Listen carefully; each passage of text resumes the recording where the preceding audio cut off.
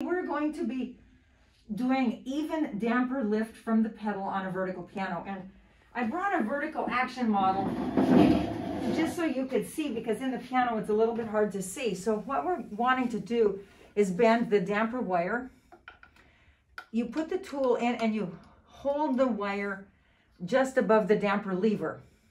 If the damper lifts early, so you watch it coming off sooner than all of its neighbors, you want to get the head closer to the string. So what you're going to do is pull back on the wire and forward on the head.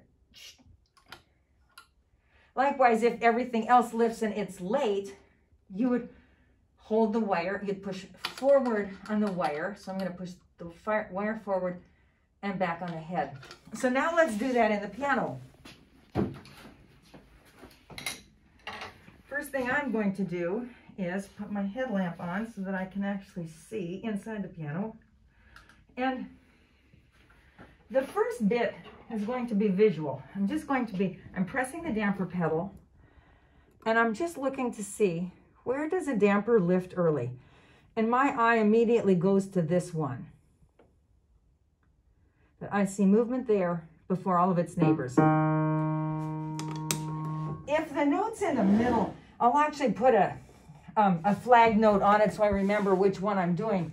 So what I'm going to do now is at the bottom of the piano, take the pedal adjustment, and I'm going to lower this wing nut so that it raises the other end so it's actually going to lift the dampers really early. So I'm going to count my turns. That was half a turn, two, three, four, five. I'm going to play this note.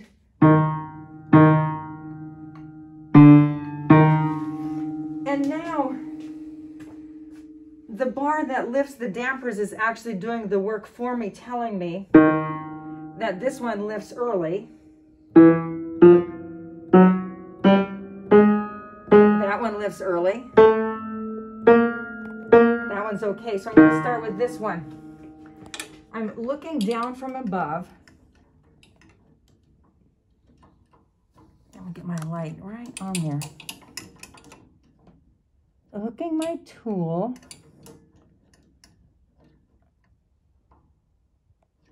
onto the wire just above the lever. I'm going to pull back on the tool. This is an awkward one. Back on the tool, forward on the head. I definitely fixed it.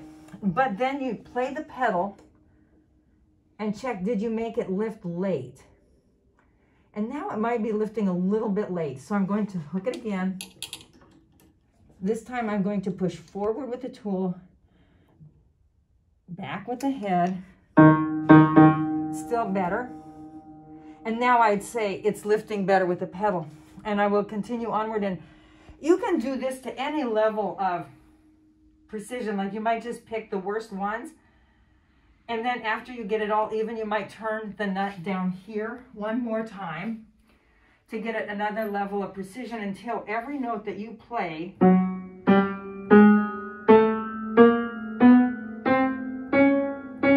has the same amount of dampening. Pulling with the tool, pushing with my finger. Better, and it's not lifting.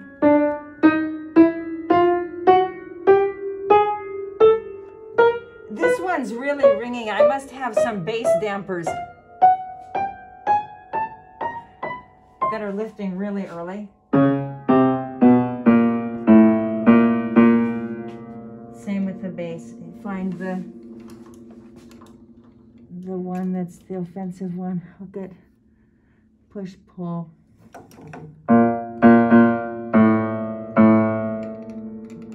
And so on.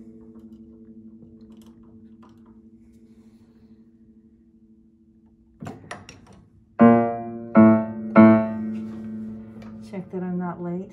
Good. And then obviously when you get this done to the amount of precision that you like, then you would come back down here and turn this to, usually it's six, so that you have the proper amount of play, a quarter of an inch, a quarter of an inch of play in the damper pedal before it lifts all the dampers